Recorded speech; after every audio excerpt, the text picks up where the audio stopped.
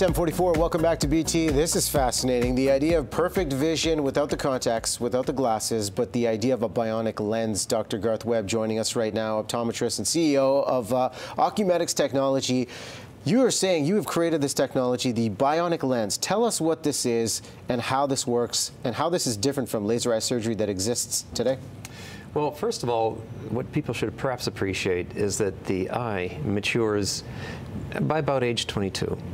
So the small lens changes that uh, we'll experience from year to year that uh, can be touched up with an eye examination are al almost always related to changes of the lens that's inside the eye. So that lens, if it were replaced with uh, an inanimate object, uh, such as a, a very stable synthetic material, would no longer change at all. And we have uh, an example. You've brought some photos of what this bionic lens looks like. Uh, take us through the sizing of this and how this differs from a contact lens, and then the procedure of how this could be inserted and what the impact is on our vision.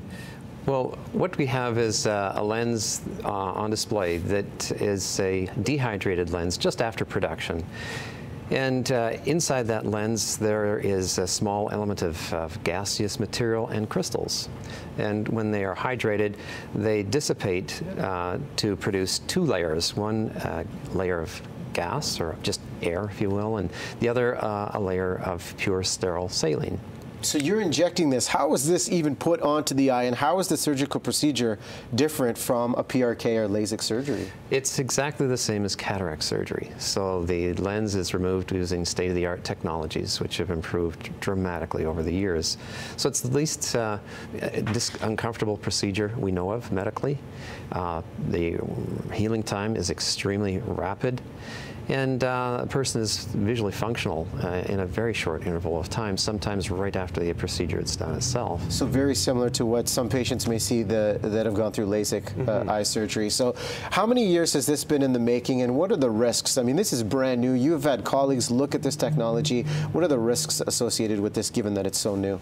Well, the, the thing is it's not so new. Uh, the um, the cataract uh, lenses that have been used uh, have been, uh, of course, critiqued by us doctors when we do postoperative care for 40 years. So we're always looking for a, a way, a better way of getting a, a, a more enhanced postoperative result. So um, I, in my practice, look at uh, the eyes and then potentially some of the complications that have had because of uh, induced because of cataract surgery relate mostly to a of the gel and contents in behind the lens.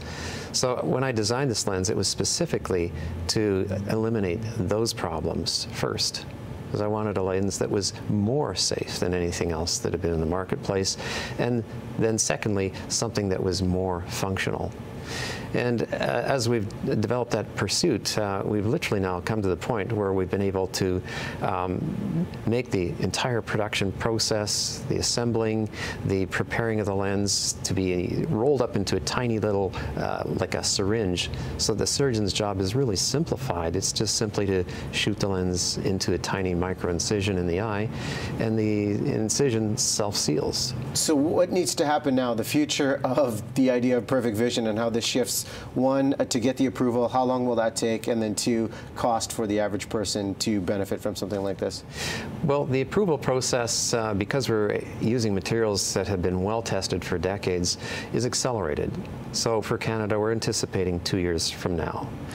And um, the, the, the cost uh, depends purely on the capabilities and, and the requirements of the surgeon to fund the equipment that he needs to make a, a literally perfectly tuned lens for that individual eye. We're estimating somewhere around $3,000 per eye uh, will likely be the, the, the, range that they'll be charged. Um, the, the, lens itself is not all that expensive, uh, so um, it, it, shouldn't be much different than what laser uh, uh, corneal surgery costs. It's, it's, it's varied greatly initially, and then as the machinery, the instrumentation all improved and became more streamlined and and more cost effective, then the price came down also. It's incredible how far it's come. Ocumetics.com is the website to find out more. Congratulations on the uh, advancements in this technology. Well, thank you very much. Dr. Uh, Webb, right here on the couch. Check out the website to find out more information. And two years from now, this game could completely change.